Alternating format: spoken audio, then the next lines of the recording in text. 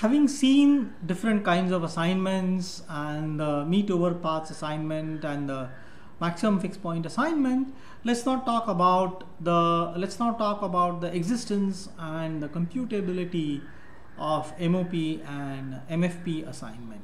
So we begin by talking about the existence of MOP assignment. What guarantees that an MOP assignment can exist? So MOP is defined, recall, as uh, as a meet over all paths when a path flow function is applied to boundary information. If if a finite number of paths reach P, then the existence of the solution trivially follows because uh, GLB exists for non-empty finite subsets of the lattice assuming that uh, the data flow values form a meet semi-lattice and of course the function space is closed under composition so f rho is defined for every rho so when we have uh, when we have a finite number of paths then the existence of uh, meet over paths trivially follows from the definition of a meet semi-lattice and the closure property of the function space. Uh, but if we don't, if we can't say that the number of paths is finite, then we need to do a bit of argument uh, uh to, to include the finiteness uh, reason. So MOP then is defined as f rho 1 applied to bi, f rho 2 applied to bi, f rho 3 applied to bi and like this. So this is an infinite meet. So we are trying to merge the data flow values across an infinite number of paths. So if we give this a name x1 and we give this meet a name x2, it's clearly uh, seen that x2 is weaker than x1 because x2 is equal to x1 meet something else and therefore the result of x1 meet something else which is equal to has uh, which is x2 uh, it must be weaker than x1 so every meet results in a weaker value. What that means is that the sequence x1 x2 x3 follows a descending chain. Okay? And since all strictly descending chains are finite even if the number of paths is infinite we know that a finite number of paths will give us the MOP that we are looking for. Uh, this comes from the fact that strictly descending chains are finite. So we know that the meet over paths solution exists. Of course, this is assuming that our meet semi-lattice satisfy, uh, satisfies DCC. Uh, so if we can guarantee that MOP solution exists, can we say that it is computable? So it turns out that it need not be computable because we might have to traverse an infinite number of paths in order to compute the solution. So one path is just P1, P2, the other path is P1, P2, P3, P2. So we go over the loop once and then we go over the loop again and then we go over the loop again. So we might have to traverse an infinite number of paths and therefore our solution may not, our computation may not terminate and therefore in general MOP solution is uncomputable.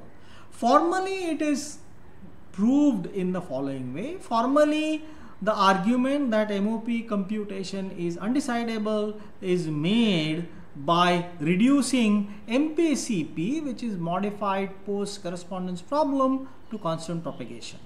So, which means that we can model MPCP problem as a constant propagation. So, if we have a solution of constant propagation, that solution can then be translated into a solution of MPCP problem. However, MPCP is known to be undecidable. So if an algorithm exists for detecting all constants, then MPCP would become decidable, which is not possible.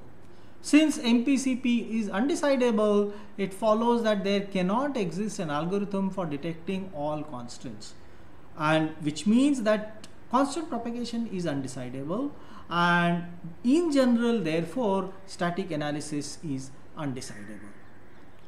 Uh, so having talked, uh, so a detailed formal proof is there in the extra slides. It's not a part of the videos, but you can look at uh, that formal proof. And I will be happy to explain that proof to you. Uh, so, so let's talk about uh, MFP solution. Is MFP always computable? So the answer is MFP assignment may not always be computable. If the flow functions are non-monotonic or if some strictly descending chain is not finite, then we may not be able to compute MFP. So let's look at the first example where uh, the flow function f is not monotonic. Here is this example f flow function f maps 1 to 0 and 0 to 1. So this is clearly non-monotonic.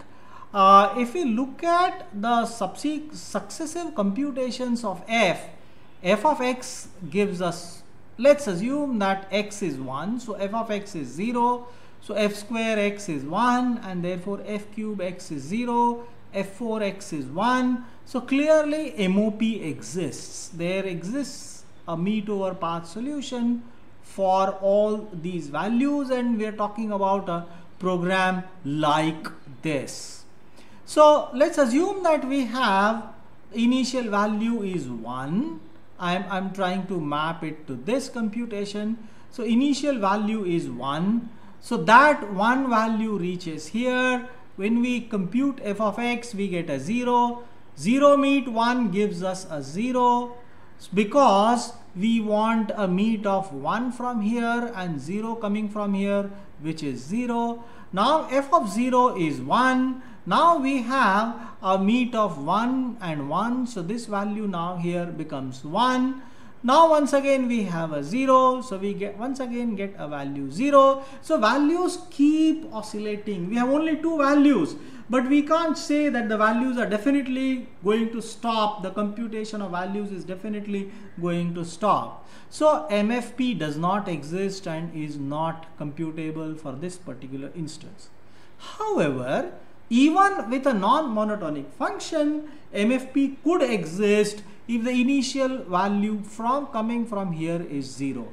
Observe that when we have 0 here, we get a 0 here. Now f of 0 is going to give us a 1 here and that 1 when merged with 0 is going to give us 0 so this value will remain 0. Subsequent iterations will give us once again a 1 but this value remains 0. So values stabilize. So in this case MFP exists and is computable. Now let's look at the other example when the MFP uh, uh, may not be computable and may not even exist.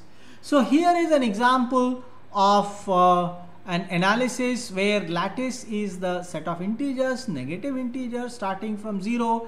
The weak, the partial order is less than relation and the meet operation is uh, minimum meaning at this program point there's a value coming from here and there's a value coming along the looping edge and in of this node will be computed as the minimum of the two values. So when, when we start with x equal to 0 we get this as 0 and then because 0 minus 1 is minus 1 we get minus 1 from here and 0 from here the minimum of the two is minus 1 so the in of this is minus 1 then we subtract 1 from minus 1 we get minus 2 so we have minus 2 and 0 the minimum is minus 2 so in the next iteration we get minus 3 in the subsequent iteration we get minus 4 and this computation will continue to happen all along all the time because we are traversing this chain this strictly descending chain and this strictly descending chain is does not have a finite height this does not satisfy DCC so we can say that this is not computable and in fact MFP does not even exist. So in this case, MFP does not exist. Since it does not exist, there is no question of computing it. Similarly, MOP also does not exist. However, if we were to change the lattice by adding a minus infinity, by adding a bottom element to the lattice, now we have a bottom element. Uh, note that with this change, the strictly descending chain condition is still not satisfied because you can start from any member and then you say will I reach bottom in a finite number of steps? So the answer is still no. So strictly descending chains are still not finite. Now if we start computing once again we will end up uh, getting into a computation that does not terminate so MFP is once again not computable however MFP exists MFP exists if I put minus infinity here and minus infinity. So minus infinity minus 1 is minus infinity and 0 minimum of 0 is minus 0 and minus infinity is minus infinity. So that is our MFP solution. Uh, out of this is 0, in of this is minus infinity, out of this is minus infinity. So MFP actually exists. But is there an algorithm that can compute it? So the iterative algorithm that we have seen does not compute it, but there exist algorithms, things that we have not covered so far, things we, which we generally do not use in lattice are called widening operators. So if we increase our power and if we say that we have something called widening which uh, sees a pattern and immediately over approximates everything to minus infinity, in that case MFP is computable but without the widening operator MFP uh, solution is not computable. Uh, with widening operator the reason why MFP solution can become computable is because MOP exists. Here even MOP does not exist so no matter which algorithm you pick up unless we introduce minus infinity there is no hope of computing MFP even with the help of widening but we are not considering widening in this course.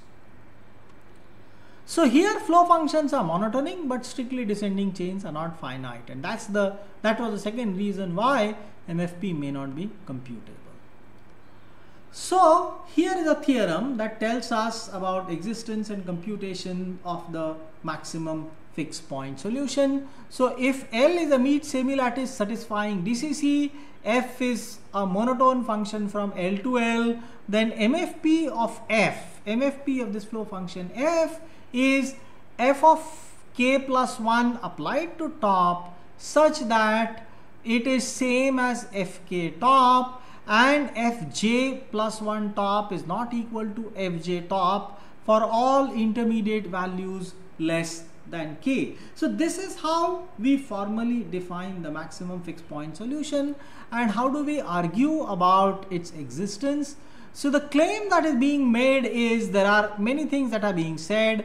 We say that there exists a k, there exists a finite k such that f of k plus 1 top is equal to fk top. Values will not keep changing. There will be two successive iterations when the values will be identical.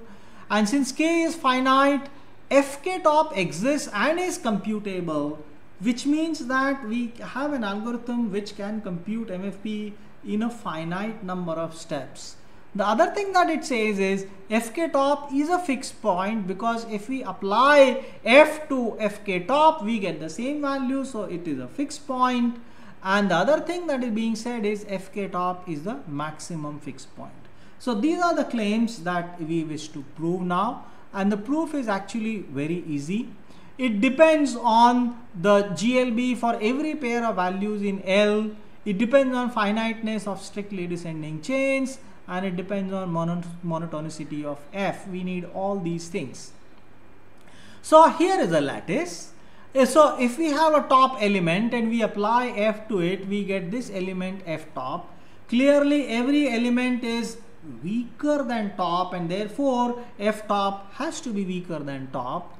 So if we apply continue to apply f by monotonicity we are going to get weaker value what that means is top is so f top is weaker than top f square top is weaker than f top because this these when these values are comparable if we apply f to both sides So this gives us f top and this gives us f square top. So that will also be order preserving because f is monotonic. So f square top is weaker than f top and f cube top is weaker than f square top and f4 top is weaker than f3 top and so on. So we have this as a descending chain. So when we keep applying flow function starting from top, we are guaranteed that we're going to get a descending chain. Okay. Now, since every strictly descending chain is finite, there must exist fk top such that fk plus 1 top is equal to fk top. And for all earlier values the values are different.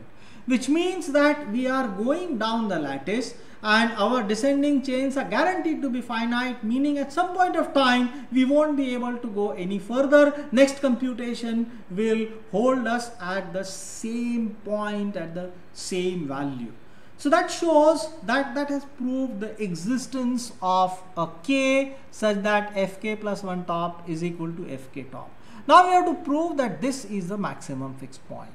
So let's talk about some arbitrary point in the lattice P which is a fixed point of F.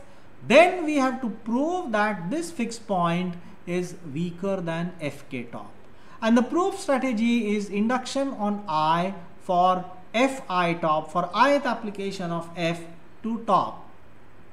The basis is I equal to 0 because f0 top is f0 is identity function so f0 top is equal to top and every value is weaker than top so therefore p is weaker than f0 top so by inductive hypothesis assume that p is weaker than fi top this is our inductive hypothesis. Now we apply f to both sides. So we get fp here and we get fi plus 1 top here. So we get Fp here and we get f of Fi of top. And because f is monotonic this condition must be satisfied. Which means that Fp is weaker than Fi f of Fi of top. Okay however because P is a fixed point it means that Fp must be equal to P and therefore Fp is same as P which means that P is weaker than f of Fi of top which means that P is weaker than Fi plus 1 top. So we started with the inductive hypothesis P is weaker than Fi top and we have shown that P is weaker than Fi plus 1 top. It me and we chose P arbitrarily. We did not fix any particular value of P. So this will P will definitely be weaker than Fk top and this holds for every P that is a fixed point. Fk top must be the maximum fixed point. We already know that F of Fk top is Fk top. So Fk top is a fixed point and P is weaker than this. So which means that every fixed point is weaker than Fk top and therefore Fk top must be the maximum fixed point. So this shows the existence and computability of maximum fixed point assuming that we have a meet semilattice all descending all strictly descending chains are finite and our flow functions are monotonic